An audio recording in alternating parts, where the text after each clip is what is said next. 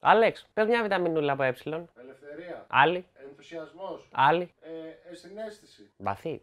Ώρα για subscribe και καλώς ήρθες σε ένα ακόμη happy βίντεο και καλώς σε βρήκα. Είμαι ο Θεμιστοκλής Τσίτσος, είμαι φαρμακοποιός, είμαι happy και σήμερα θα αναλύσουμε 6 πραγματάκια λιγότερο γνωστά για τη βιταμίνη Ε. Για τη βιταμίνη που θα σου προσφέρει ελευθερία, ενθουσιασμό και ενσυναίσθηση. Δεν κολλάει και πολύ αυτό. Ή πάντα ενώσω κάπω. Ξεκινάμε. Νούμερο 1. Η βιταμίνη Ε δεν είναι μία βιταμίνη. Είναι μία ομάδα λιποδιαλυτών ουσιών. Σε αυτή την ομάδα οι παίκτες είναι διάφορες χημικές μορφές που ταξινομούνται στις τοκοφερόλες και τις τοκοτριενόλες. Κάθε μία παίζει το δικό της ρόλο, το δικό της παιχνίδι, αλλά εκείνη που αναγνωρίζεται ότι καλύπτει καλύτερα τις ανθρώπινες απαιτήσεις είναι η D-α τοκοφερόλ. Σημείωσέ τη. Αυτή είναι η φυσική μορφή της βιταμίνης Ε και την προτιμάμε όταν πρόκειται για κάποιο συμπλήρωμα διατροφής. Το αρνητικό της είναι η ευαισθησία της σε φως και αέρα, γι' αυτό όταν το έλαιό της εκτίθεται, χάνει σταδιακά τη δράση της. Αντίθετα, η συνθετική βιταμίνη Ε συνήθως είναι κάπως έτσι ή έτσι. Αυτή η μορφή είναι μεν λιγότερο αποδοτική ως συμπλήρωμα διατροφής, αλλά πιο σταθερή για δερματολογική χρήση. Για να τα τακτοποιήσουμε, κατά κανόνα προτιμάμε φυσική μορφή για συμπληρώματα διατροφής και συνθετική μορφή για καλλιντικά. Δηλαδή να σπάω την κάψουλα και να βάζω το λαδάκι στο πρόσωπο. Τι είπαμε, κοίτα τη μορφή της. Η σταθερότητα της βιταμίνης Ε διακυβεύεται μόλις το προϊόν ανοιχτεί και εκτεθεί. Εκτός κι αν είναι όπως είπαμε συνθετική. Με αυτόν τον τρόπο παρατείνεται η διάρκεια ζωής της και προστατεύονται οι αντιοξυδοτικέ της ιδιότητες. Πάμε τώρα στο πραγματάκι νούμερο 2, λιγότερο γνωστό για τη βιταμίνη Ε. Τι προσφέρει τελικά στο δέρμα; Η κύρια δράση της στο δέρμα λοιπόν έχει δύο συνισταμένες. Ενυδάτωση και αντιοξυδοτική προστασία. Πάμε να δούμε πρακτικά τι σημαίνουν αυτά, ξεκινώντας από την αντιοξύδωση. Έστω ότι έχουμε στη χούφτα μας ελεύθερες ρίζες, ασταθή μικροσκοπικά σωματίδια, που είναι κακά και που αυξάνονται από την υπεριόδια ακτινοβολία του ήλιου, από το κάπνισμα, την ατμοσφαιρική ρήπανση, το αλκοόλ, τα τηγανιτά. Οι ελεύθερες ρίζες λοιπόν εξασθενούν τα υγιή κύτταρα του δέρματος και είναι σε θέση, αν δεν ελεγχθούν, να προκαλέσουν οξυδοτικό στρες. Μια κατάσταση που φαίνεται να συνδέεται με βλάβες στο δέρμα, φωτογύρανση και ρητίδες. Όμως, στην άλλη χούφτα μας έχουμε τα αντιοξυδοτικά. Η βιταμίνη Ε θεωρείται ένα πανίσχυρο αντιοξυδοτικό. Έρχεται λοιπόν η βιταμίνη Ε συνάμενη κουνάμενη.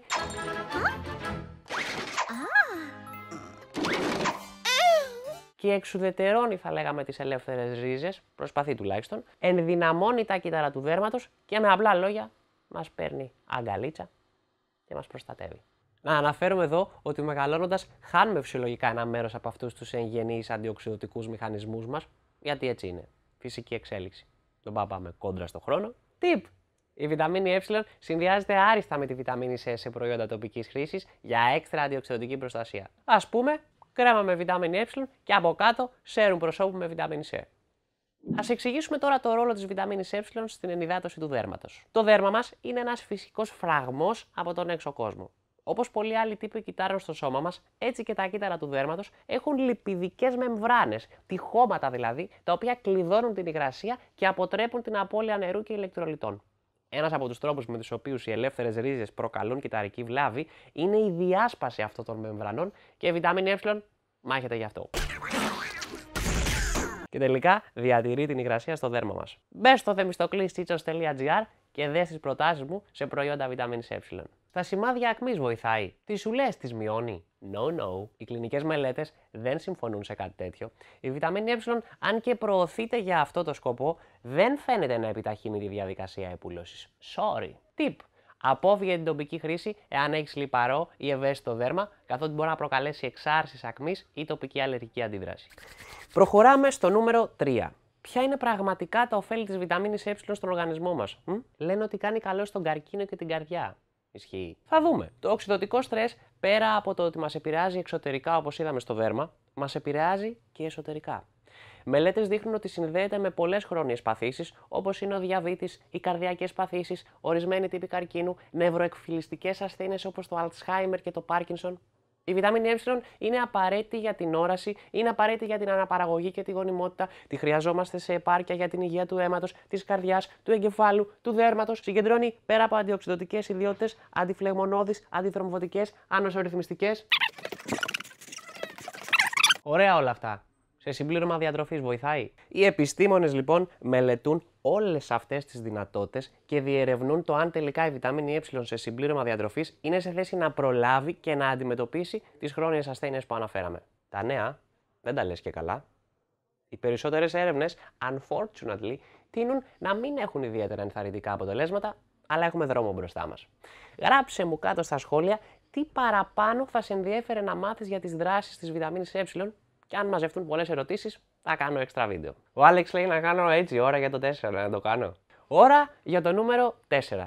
Πώς θα καταλάβεις αν έχεις έλλειψη βιταμίνης Ε; Συχνή ανεπάρκεια παρατηρείται σε πρόωρα νεογνά. Σου μοιάζω με μωρό; Κατά τα άλλα, η ανεπάρκεια βιταμίνης Ε είναι σπάνια και έχει τα εξής συμπτώματα. Απόλυα αίσθησης στα χέρια και τα πόδια. Απόλυα ελέγχου της κίνησης του σώματος. Έλλειψη ισορροπίας δηλαδή. Προβληματάκια όρασης. Μυϊκή αδυναμία αλλά και ευπάθεια των μειών. Ένα άλλο σημάδι της ανεπάρκειας είναι το εξασθενημένο ανοσοποιητικό σύστημα, ειδικά στους ηλικιωμένους.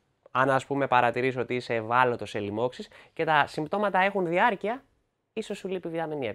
Και θα μου πεις και με το δίκιο σου. Εγώ τρώω καλά λιπαρά, έχω ισορροπημένη διατροφή, άρα λογικά καλύπτω τις ημερήσιες ανάγκες μου σε βιταμίνη Ε. Σωστά. Η αιτία τις περισσότερες φορές για την έλλειψη βιταμίνης Ε δεν είναι η διατροφή, αλλά η απορρόφηση. Να το αναλύσουμε. Η βιταμίνη Ε είναι μια λιποδιαλυτή βιταμινούλα, όπως και η βιταμίνη D. Άρα χρειάζεται μαζί κάτι λιπαρό για να απορροφηθεί. Έλα όμως που υπάρχουν καταστάσεις όπως η κυστική ίνωση, η παγκρεατίτιδα, η κοιλιοκάκη, η νόσος κρόν, όπου χαρακτηρίζονται από δυσαπορρόφηση του λίπους. Εκεί ίσως χρειαστεί να εξετάσουμε τη λήψη κάποιου συμπληρώματος. By the way, με μια απλή εξέταση αίματος μπορείς να μετρήσεις εύκολα τις τιμές της βιταμίνης Ε. Και φτάσαμε στο νούμερο 5. Πώς θα υπολογίσεις πόση βιταμίνη Ε χρειάζεσαι. Χάπη μου, η δοσολογία εξαρτάται από το φύλλο και την ηλικία και η συνιστόμενη μερίσια δόση για τους ενήλικες είναι τα 15 mg μερισίως. Αυτά τα 15 mg, επειδή δεν μπορούμε να τα παράξουμε μόνοι μας, τα καλύπτουμε από τη διατροφή μας και από κάποια ποιοτική πολυβιταμίνη. Ενδεικτικά, οι καλύτερες πηγές βιταμίνης Ε είναι η ξηρή καρπή, το στέλεο και τα πράσινα φυλλώδη λαχανικά. Τι 15 mg. Εγώ στα συμπληρώματα πάνω βλέπω 200 IU, 400 IU, 1000 IU. Τι είναι αυτό το IU. Μια μονάδα μέτρησης είναι. Και κάθε διαφορετική μορφή της βιταμίνης Ε έχει και διαφορετική αναλογία IU με μιλιγκράμμ. Για να στο κάνω εύκολο, εκείνο που συναντάμε πιο συχνά σε συμπληρώματα είναι η φυσική μορφή βιταμίνης Ε, όπως είπαμε η D αλφα το κοφερόλ. Αν λοιπόν δεις γραμμένο πάνω στο κουτάκι, για διάλεξε ένα κουτάκι. Ε, το μπλε. Το μπλε, το μπλε. Αν δεις γραμμένο D αλφα το κοφερόλ, θα πεις Α, αυτό το έχω δει στο βίντεο του Θεμιστοκλή. Εσύ θα πρέπει λοιπόν να πολλαπλασιάσεις με το 0,67. Π.χ. αν γράφει 400 IU θα κάνεις 400 επί 0,67 ίσον 268 mg βιταμίνης Ε. Βουαλά. Για κάτσε λίγο. Πάνω από 15 mg βιταμίνης Ε την ημέρα έχει παρενέργειες. Νούμερο 6. Παρενέργειες. Κοίτα, αν μας αμπουκώνεις μπόλικη βιταμίνη Ε από τη διατροφή σου κάθε μέρα, δεν θεωρείται επικίνδυνο. Τώρα, σχετικά με τα συμπληρώματα, θέλει λίγη προσοχή. Ναι, η βιταμίνη Ε σαν συμπλήρωμα στον υγιή πληθυσμό όταν λαμβάνεται σε κατάλληλες δόσεις θεωρείται γενικά ασφαλής.